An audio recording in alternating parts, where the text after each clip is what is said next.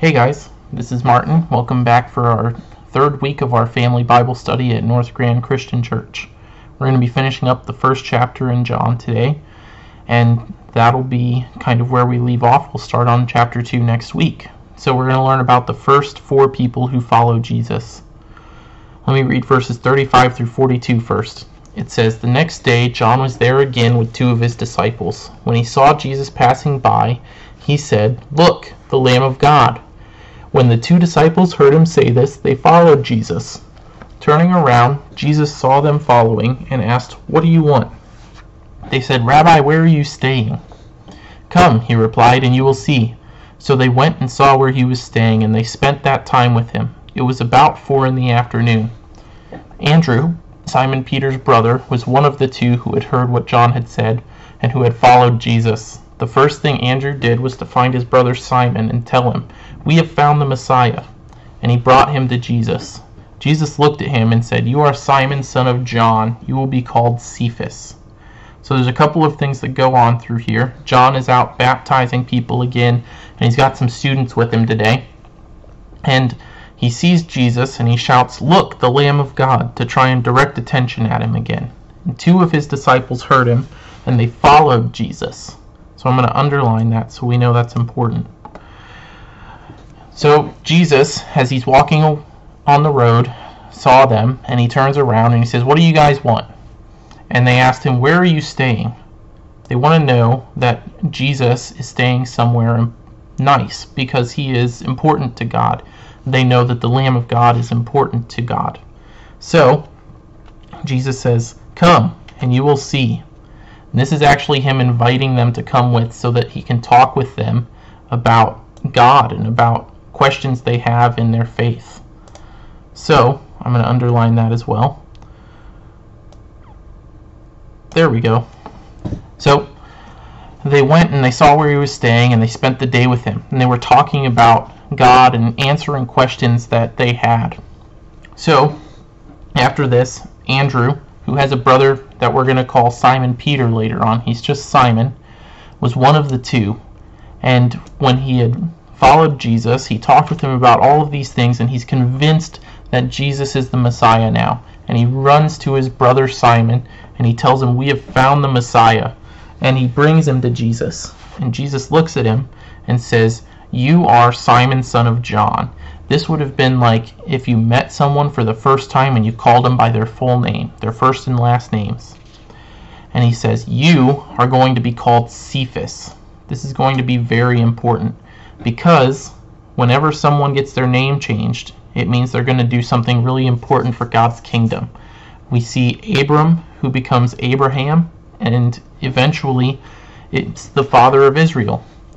Sarai becomes Sarah. She is the mother of Israel.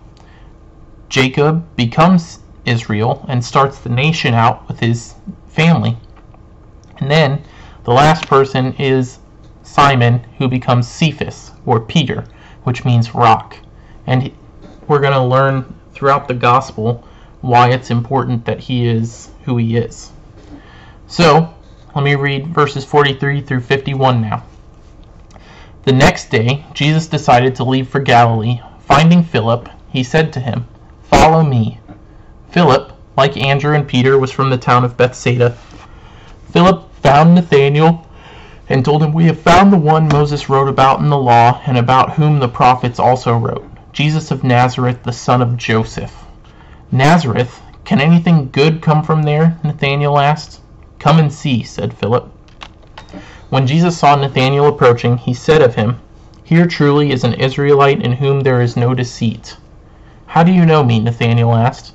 Jesus answered, I saw you while you were still under the fig tree before Philip called you. Then Nathanael declared, Rabbi, you are the Son of God. You are the King of Israel. Jesus said, You believe because I told you I saw you under the fig tree, but you will see greater things than that. He then added, very truly, I tell you, you will see heaven open and the angels of God ascending and descending on the Son of Man. So, a couple of things happen through this. First of all, we learn that Jesus is starting to get popular because he's traveling and he finds Philip and just tells him to follow him, and he does.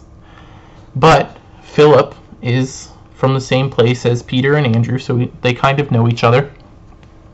But Philip won't follow him first. He needs to go tell his friend Nathaniel about him. So he goes and he tells him that we found the one Moses wrote about and the one who the prophets wrote about. He's talking about the one fulfilling the prophecies and all of these. And he says that this person is Jesus, son of Nazareth, or from Nazareth, the son of Joseph. This is like calling someone by their first, middle, and last name. There is no way to confuse them at this point.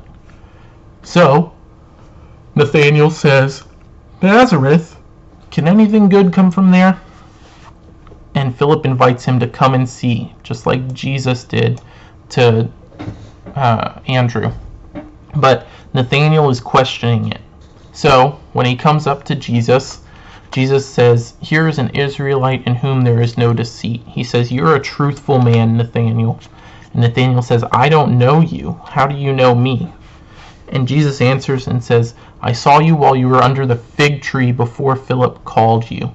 So, when people go under a fig tree in this uh, time, it's usually because a fig tree is a sign of peace. They want to be somewhere where they won't be disturbed so that they can pray, they can read scripture, they can try and uh, learn.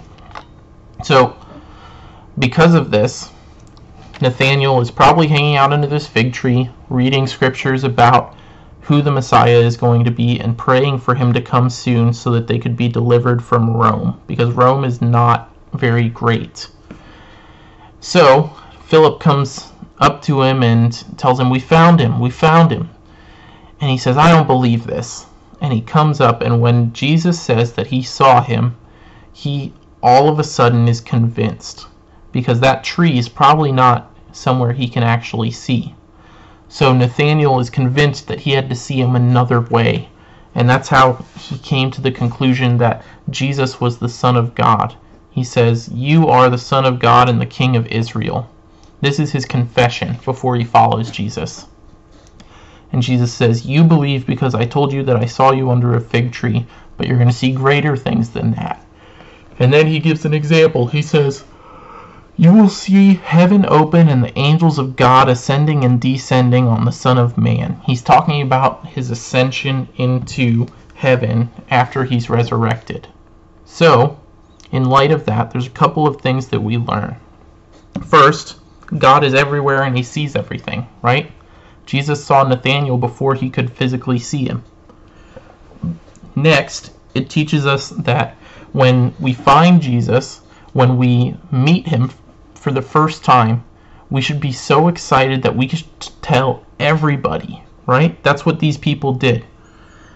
Then we learn about the first four people who followed Jesus because they're going to be pretty crazy. They're going to be awesome. They do amazing things the rest of their lives because of this.